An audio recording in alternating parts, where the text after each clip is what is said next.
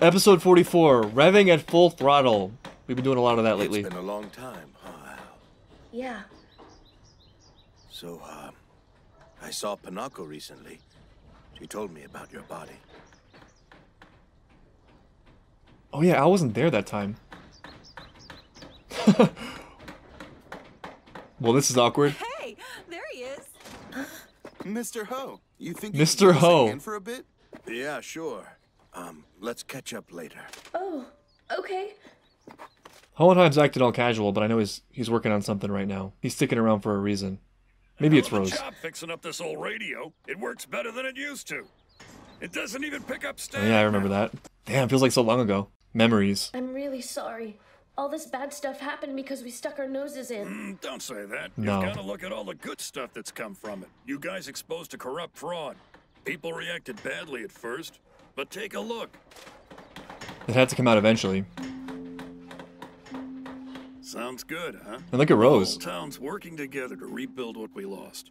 And you guys are the ones that brought us together. This is so nice. Al really needs this. I'm gonna help build. Rose, can you take care of Winry? Take care of Winry. What do you mean? I'm sorry if we interrupted. It's been a while, right? Maybe you should head back and talk. I think he I was don't know. Happy for the I distraction. He was just a boy and Yeah. haven't seen him since. I doubt that he thinks of me as his father or trusts me. I'm not even sure what to say to him. Hey, Dad! Aw, Al. I, um. I'd like to work too. This is something that would be really satisfying to see happen. those. This is what Hohenheim cares about, right? He, I mean, he wanted his family Here you go. above everything. Al is not the one you gotta worry about. It's Ed. Al will take him back. Al has already forgiven you. I know that already. Al wants his father. Ed, it's not gonna be so easy with him. But teaming up to fight father might help. You okay in there? How's the water feel? Amazing.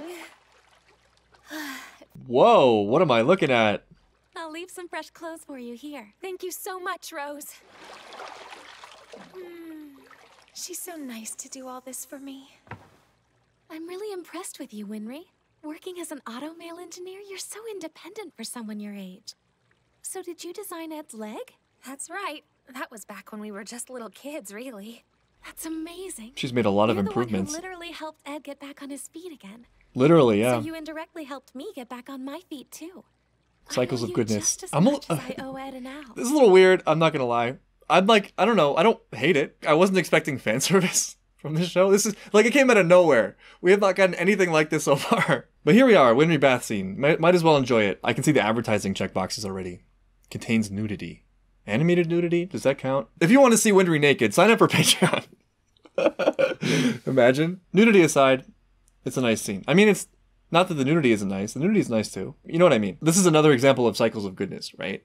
And I think one interesting thing about Lior is that it kind of goes back to something Ed was saying a couple episodes ago when he got injured about how he may as well start accepting the consequences of his actions. I think the understanding there is that the fact that he can see truth that other people can't see, or that he's doing things that are ultimately good but really difficult or what people don't really want or resist initially because they're attached to the way they are is that he's going to be in a lot of danger. And there's a lot of chaos that comes out of goodness at first in a lot of cases. Like this is not such a direct thing where like he did something good and then good things happen right? Like there was a period in between that where the whole city collapsed. But to me it seems like it was something that had to happen because it was built on lies. And the only way through that was going to be pain. Like, the truth is painful. The truth is especially painful when you're living a life of lies. And Lior just seemed like lie on top of lie on top of lie. And I think the inspiring part about that and the heroic part about that is the idea of, like, you know, just speaking truth as you see it and doing your best personally, even if there's an immediate cost, right? And I think that's something that Ed embodies really well, especially in the last couple episodes. But Lior is kind of an early reflection of that. I was desperate enough to believe Father Cornello. He claimed that he could bring my boyfriend back to life, and I began to blindly follow him. It was just your boyfriend? But then Ed got furious with me. He told me to stand on my own two feet. He said that? He can be a jerk sometimes. I don't know why it's so difficult for him to be nice. But he was being nice. That's just how much he cares. But you already know that, don't you? Um, He helped open our eyes, mine and the whole town's. I'm kind of confused. Is Rose a love interest for Ed or Hohenheim? she can be both. on a more serious note, I like their exchange about kindness because what is kindness in that situation? I feel like Ed was hard on her, but sometimes being hard on people is a kindness. You know, sometimes what people need most is honesty. I mean, there's a place for both, right? There's a place for pacifying people's emotions and trying to make them feel better, and there's a time for just like giving them the brutal, honest truth as you see it, especially if the the things they're not seeing are a danger to them. In the past, when I've been in bad places, some of the most encouraging words people have ever given me was brutal, hard truth that was painful. But sometimes that's a relief. Like I said, I think there's a place for both, but I feel like we don't get enough of that aspect. We get a lot of like, you're okay, everything's fine, you're great the way you are, and not enough of like, you can do better, you know? Because they're both important. And I think they're two halves of a whole, right? Like we are good the way we are, but I think a lot of our goodness lies in the shape of potential. But potential has to be realized for it to be truly great. And so I think that's where the utility of someone like Ed telling you, like, stand on your own two feet and walk or whatever. Sometimes that's something you need to hear, and you can see that it obviously did a lot of good for Rose. We're learning to stand on our own, and we don't need any kind of miracle to do it. It's all thanks to Ed and Al. Ed. What about Al? Ed and Al, but Ed's missing. Where are you, Mr. Greed? You never know who's going to be important in this show. Oh, is this the army? Looks like it. The state has no interest in ethics. Oh, we saw the other side of this. Yeah, it is the army. You mentioned that souls would be bonded to them. Where do you plan on procuring these souls? From rival lands, of course. Citizens from the countries we ravaged during the course of war. For one reason or another, the battlefield serves as a hunting ground for the collection of souls. This place is evil! Maybe you shouldn't scream like that. Mr. Greed would never be in an awful place like this! There's new greed. So, it's a countrywide transmutation circle, and you plan on destroying it. Why is he playing ignorant? So I was kind of shocked to find you here, Dad. I must have some good luck after all. Come on, Al, put two and two You together. encountered a man who was identical to you in Central. I don't know how you're connected to him, but I'm guessing you at least know who he is, right? Al is me for most of the show. I'm just a little bit ahead of him Cross now. your mind I might be on their side. You've given away your entire plan. Aren't you the least bit worried I might leak it to them? Poor Al. Just kidding. I'm glad that you feel like you can still trust me. Thanks, Alphonse. Sure. Even though I left them, this boy still sees me as his father and actually trusts me. Now then, I suppose I owe my sons the same trust they've given me.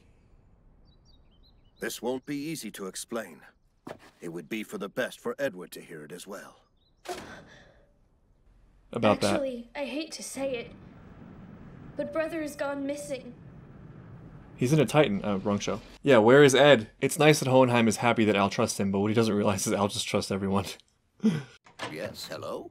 Oh, you're soldiers. Do you need a physical? We're looking for someone. What's wrong? Tell me, were you at the bank this afternoon? Don't move! Hold it. Do you work at this doctor's office? Slowly raise your hands above your head. Have you seen anyone unusual frequenting the There he clinic is. lately? Good to see him in good health. He's described as Right now! Show me your hands! A red coat, blonde hair worn in a braid, and short. oh, you messed up. Now you're dead. Hey, answer me!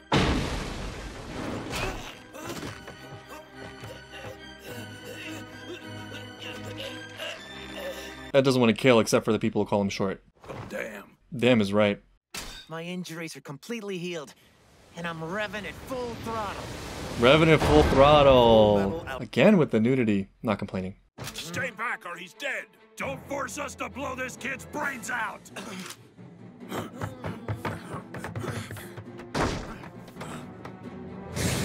Whoops. Revenant full throttle.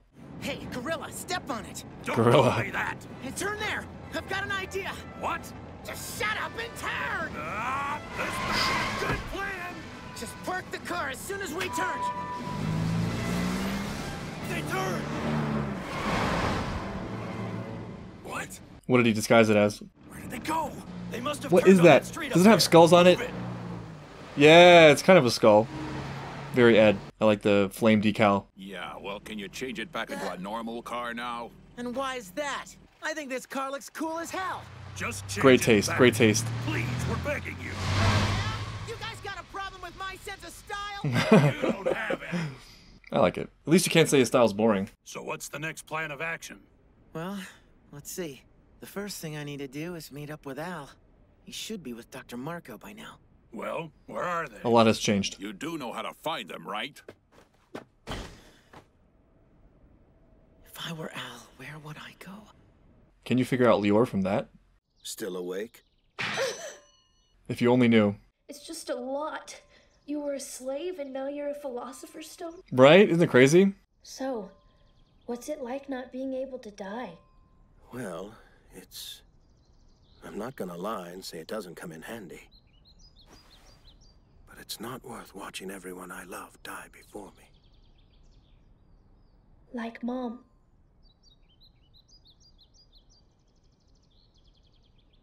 Wait, if you're a philosopher's stone, you don't have a normal human body, right? So does that mean Ed and I? Aren't exactly normal humans either. Yeah. You don't have to worry, Al. It's true that I have a philosopher's stone fused to my soul. But not even that can change the fact that I am a human being. Although, my look-alike beneath Central, his body is like a leather bag that's patterned after mine, A leather bag? more or less. And if we can destroy that leather bag, then we can defeat what's inside. That makes sense. Yeah, I guess in a way, Father's body is just another container. Maybe there's more to this container thing than I thought, because that's been focused on a lot. For all we know, they might have already completed the circle. Then why are you so relaxed? Because it's not yet time. Huh? How do you know? Look up, son. You're too busy looking down when you need to look up. Huh? If you want answers, that's where you'll find them. Up? The sky? You mean the sun god Leto? The man in Central is waiting for the day of reckoning.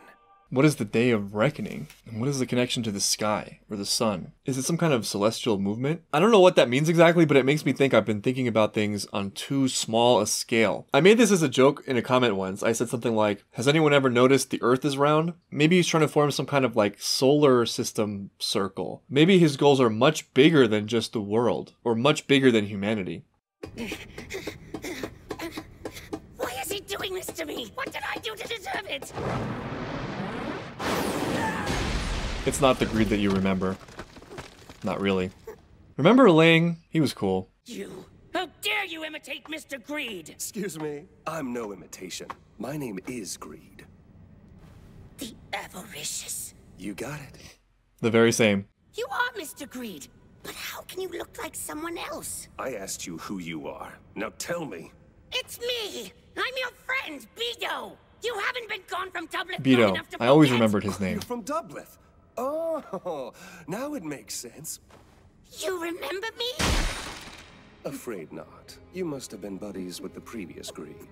But I thought. Damn, why is this Sorry, sad too? You and I have never even met. But, Mr. Greed, I'm your friend. It's nothing personal. I'm just doing my job. I am sorry, honestly.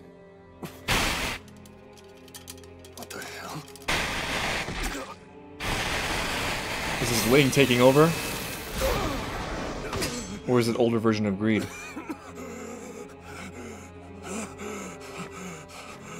What have you done, Greed?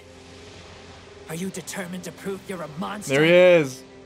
What kind of sick creature would kill his own friend? You abandoned them. Your real family. You threw them away like trash. Fool. If you turned your back on something you wanted, you don't deserve to call yourself free. Damn, he's just breaking him from the inside out. Oh my god! I went from joking about Bido being forgettable to feeling really sad about his death in the span of like two seconds. Yes, another one. They keep bringing You'll enjoy this one. I was just a bit older than you are the first time I read it. It's I about don't know about that. adventurer who travels the world. what is it? Nothing could be more more dangerous out there than in here. Who is it?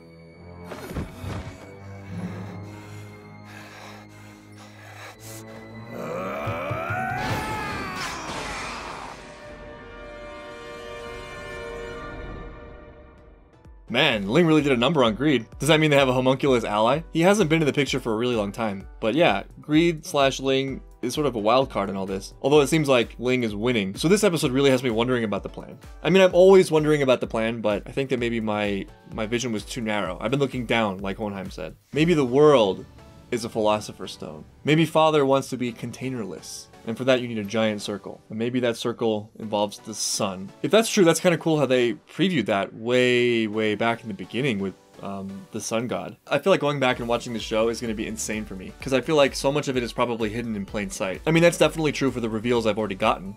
Like, Pride has sort of been in plain sight this whole time, as Selim. Slave 23 was part of the opening, the first opening. And golden eyes, you know, there's so many things. It's all there, I'm just not seeing it. But it can't be that much longer now.